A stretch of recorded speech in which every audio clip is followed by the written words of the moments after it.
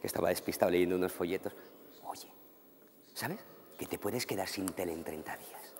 No te lo vas a creer, pero está la gente asustadísima. Me tengo que cambiar de tele. ¿Dónde se compra la antena? ¿Dónde se compra el aparato de TDT? Y la antena la pongo yo, la pone el vecino, la pone los de la comunidad. ¿Quién la pone? Fíjate, tú qué tontada. Como, como si sin tele se fuera a acabar el mundo, ¿eh? Ahora, que como con lo de la campaña del lince no nos hemos comido un colín. A ver, a ver, a ver qué te parece. Si usas condones, te quedas sin tele en 30 días.